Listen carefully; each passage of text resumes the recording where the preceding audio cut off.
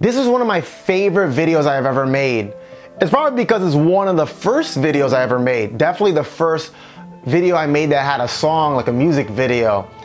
I, uh, I had so much fun doing this project. Uh, my friends were driving me crazy because they just couldn't stay serious and stay in character and all that stuff. And they kept doing silly things. And it drove me crazy at the time, but it was fun to look back at all the bloopers and stuff like that. But I, when I did this project, it was I was in a group called the Student Ministerial Association, SMA, back in uh, my college, Atlantic Union College, AUC. And uh, SMA, the Student Ministerial Association, was basically at first a, uh, a theology major club. I didn't like that. And so later on, when I uh, got in leadership in it, we changed the whole thing and it became more inclusive. And we got in all types of people from different uh, uh, majors and we recruited all these people in. People that just wanted to do ministry and were excited about ministry. And we had all different types of ministry groups that we set up. And one of the ministry groups was called Special Ministries. And this was a group that did creative, uh, that brainstormed and did creative ideas on how to do ministry. One of the creative ideas that we came up with was called The Wedding. This was a uh, program that we put together called The Wedding, which basically looked and acted like an actual wedding. We printed out invitations, like wedding invitations for people to come to the program looking like wedding invitations. And people looked and was like, what is this? Is this actual wedding? And people showed up wondering what this is gonna be about we had people uh, uh, decorate the place to make it look like a wedding. People uh, came in, the groom came in, the groomsmen came in, the brides bridesmaids came in and everything. The bride came in in an actual wedding gown, and I was uh, the minister that was going to officiate the the service that day.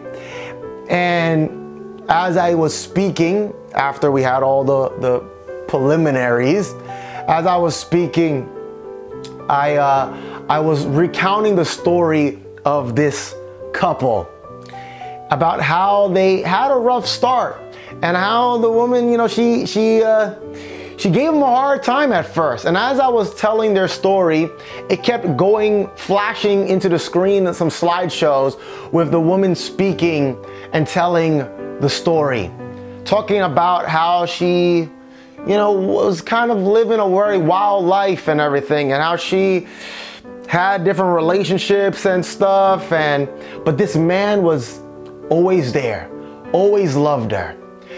This whole uh, wedding ceremony was actually an allegory of the relationship between God, the groom, and us, the bride, and how He loves us no matter what, despite our past. And as I continued to tell the story, we kept going back to the woman telling her story with the slideshow. And at the end, they did their vows. And you know how in weddings, uh, uh, it's it, the minister says, "Is there anyone who sees any reason that these two shouldn't get married?" And everybody uh, just lets it happen, and then you go to the, the I do's. But in our skit, our play, this uh, man got up and said, I object. What? I object. And this guy got up and said, she was in a relationship with him and how she was damaged goods. He talked about how she was, uh, how all the mistakes she's made in the past and how she was uh, flawed and everything. But the groom moved forward and told him to sit down and to get out. He wasn't welcomed here and he loved his bride to be anyway, despite her past. Kind of like how God loves us, even though the devil tries to come in and and remind us of our past and make us feel like uh, we're unworthy, like like our our white dress, our bride's dress shouldn't be white because we're impure. But God reminds us that He loves us no matter what. And so we went to the I do's, and the man said, Yes, I do. But then the woman said, I, I, I can't. And she ran out of the room crying. As she left the room, a video started to play showing her memories of how the man was trying to reach out to her despite her rejection. And as she left the room, this video started to play.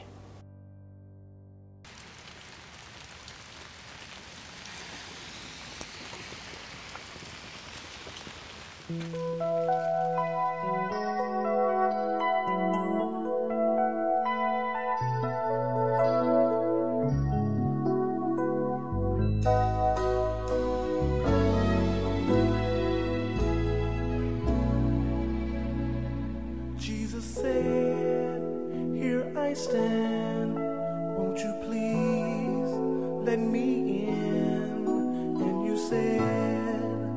I will tomorrow. Jesus said, I am He who supplies all your needs. And you said, I know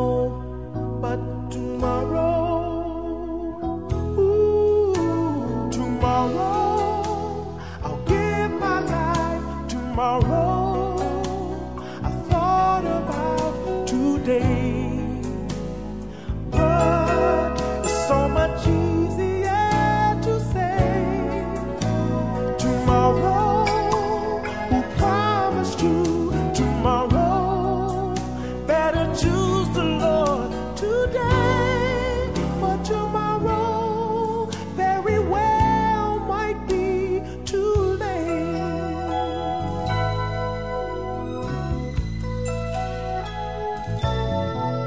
Jesus said, Jesus said, Here I stand.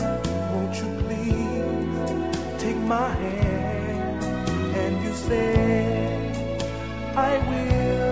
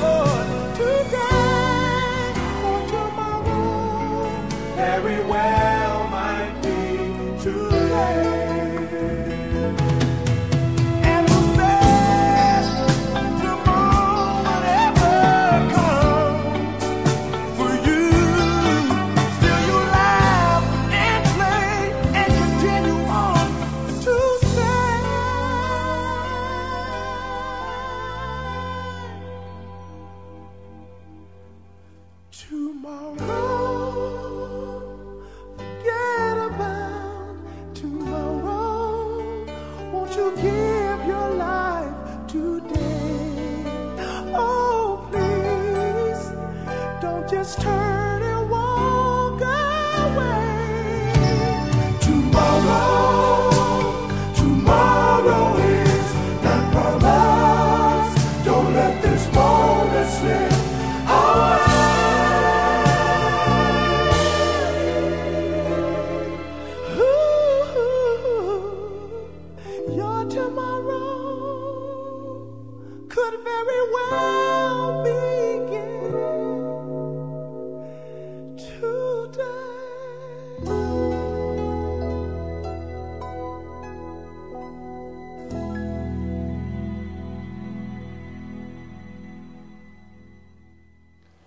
As the video ended, the woman, the runaway bride, stepped back into the sanctuary. She walked up to the stage, took the arms and the hands of the man, and this time said, I do. When I looked out into the audience, there were tears in people's eyes because they got the message. They understood. And I pronounced the couple, husband and wife, and the crowd cheered. And then I went into the appeal. And in the appeal, I said how, just like this woman, we reject God, we reject God, we reject God. And we keep saying, ah, maybe tomorrow. Maybe I'll give my life tomorrow. But Jesus, Jesus did so much more than risk his life by jumping in front of a car. He gave up his life and he died for us so that he can have a relationship with us. And so we gotta stop saying tomorrow.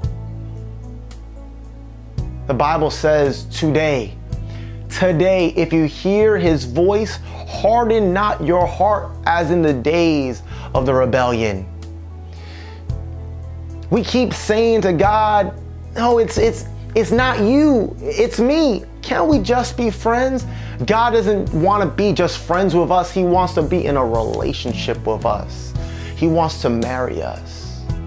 Will we say, I do? Or will we say, I can't?